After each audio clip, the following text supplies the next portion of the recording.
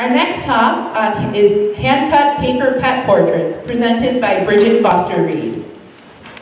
There actually is a more difficult way to say paper pet portraits. It's a German word uh, for paper cutting, but I won't say that. so the start of this is Chica, and I started, um, I had this art show outside, and this woman walks by and she didn't even plan on coming to the show, and she sees I have these paper pet portraits, and she walks up and says, I want one of those. And I'd only done one for my mom, because no one's better than mom to, you know, try to do art form. Like, she'll always put it on her fridge. so she's like, I want one. And I was like, great. And then she goes, okay, I'm going to get my dog. And I'm like, okay, awesome. And she gets the dog. I take a picture of her. And she's, you know, joking that Cairn Terriers are really difficult dogs to do because their fur is all in their eyes and they're all one color. So I was like, let's do this. So I did it, and it was a really fun experience. So how I got there was, I'm traditionally a painter and I do drawing, so I'd never really done a paper before, and I got way too comfortable doing that.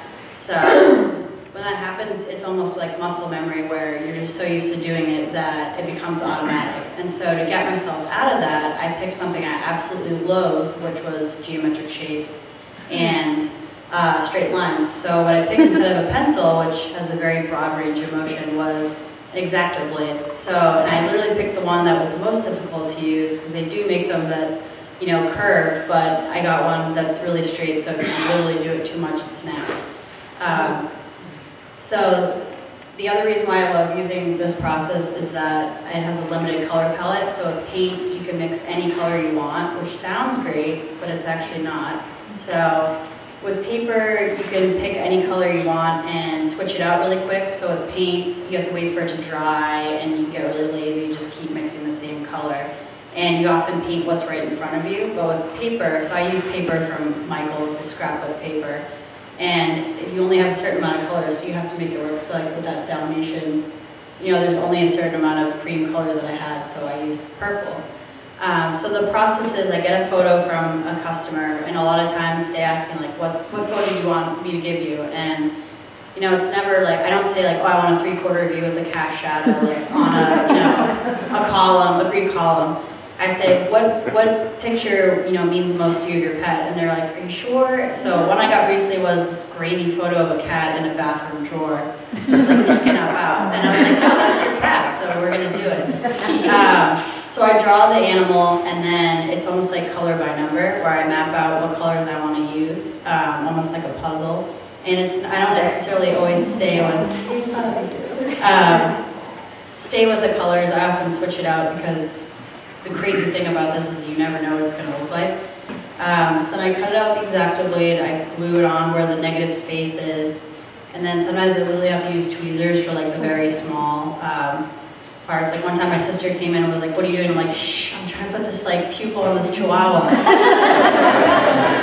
She's like, okay. Um, and the whole great part of doing these pet portraits is it's a rigid medium with an organic subject. So I used to paint and draw pen and inks, and that's why I thought those would be the best to get the personality of the animal, animal but it's actually not because it's your pet, so the personality is most highlighted when there's actually less of the fur, which and there's another snaggletooth uh, pug. So um, you want to get away from you know drawing every single piece of fur, even though it's very fun. You want to just do the personality of, of the pet. And it was important for me to do drawing and painting for all those years because it, it got it out of my system. So, and I literally said I would never do anything with geometry. I'm like, I'm more an organic person, like I'm not that person. But um, and now I'm doing pet portraits out of paper. So they're uh, they're so much fun, and you know they're really great for me to give them to people and um, to have them, you know, for their pets. So